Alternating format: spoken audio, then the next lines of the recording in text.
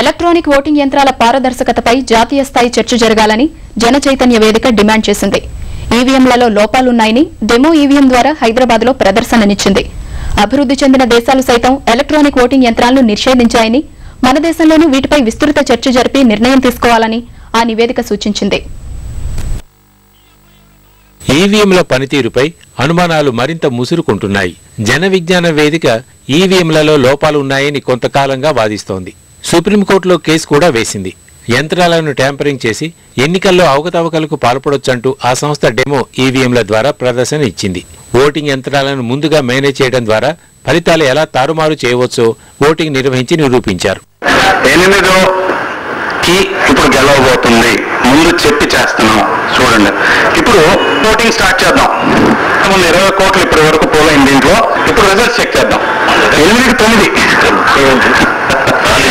ఎనిమిది విన్ అయింది ఇప్పుడు చూడండి. తొమ్మిదికి ఒకటి. ఇదండి పీసీ సర్కార్ షో. రిజల్ట్స్ కావాలంటే మళ్ళీ చూపించచ్చండి ప్రాబ్లం లేదు. అమెరికా లాంటి జర్మన్ లాంటి మరి సింగపూర్ లాంటి దేశాలు వీటిని రిజెక్ట్ చేస్తున్నాయి. మరి అక్కడ ఉన్నటువంటి ఓటర్స్ వాళ్ళ యొక్క విజ్ఞత ఎక్కువ వాళ్ళు ఎడ్యుకేటెడ్స్ మరి మన దగ్గర చాలా డెబ్బై శాతం ఎనభై శాతం ఓటర్స్కి అసలు అవగాహనే లేదు ఎలక్ట్రానిక్ ఓటింగ్ మిషన్ అంటే. ఉన్న మేధావులకు కూడా ఎవరికి అవగాహన లేదు. అలాంటి పరిస్థితుల్లో మనం ఎలక్ట్రానిక్ ఓటింగ్ మిషన్స్ మీద అధ్యయనం జరగకుండా చర్చ జరగకుండా దీన్ని మనం ముందుకు తీసుకెళ్ళాలా అనేది ఒక పెద్ద ప్రశ్న. వీటి పారదర్శకత నిరూపితమయ్యే వరకు బ్యాలెట్ పద్ధతిలో ఎన్నికలు జరపాలని వారు కోరుతున్నారు. ఈవీఎంల సాఫ్ట్వేర్ అందించే సంస్థలు ప్రభుత్వ అధీనంలో ఉన్నందున అధికారంలో ఉన్న పార్టీలు వీటిని తమకు అనుకూలంగా మార్చుకునే అవకాశం ఉందని వేదిక అనుమానం వ్యక్తం చేస్తోంది. వీటిలో లోపాల వల్ల ఓటరు రహస్యంగా ఓటు వేసే రాజ్యాంగబద్ధ హక్కును కోల్పోయే ప్రమాదం ఉంది అంటున్నారు ఈవీఎంలను మరింత పారదర్శకంగా చేయాలన్నదే తమ ఉద్దేశమని వేదిక ప్రతినిధులు చెప్తున్నారు.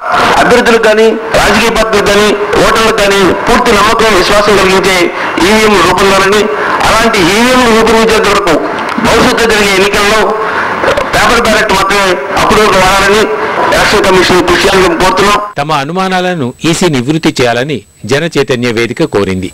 మొట్టమొదటి ఇరవై ఓట్లు ఎవరికి పడతాయో వాళ్ళని లేకపోతే మొట్టమొదటి పది ఓట్లు ఎవరికి పడతాయో వాళ్ళని గెలిపించండి అని నేను ప్రోగ్రాం రాసి పెట్టాను అనుకోండి. అభ్యర్థి చెప్తాడు మరి బాబు పరిగెత్తి గెలుపు ముందు మన పది మంది అని.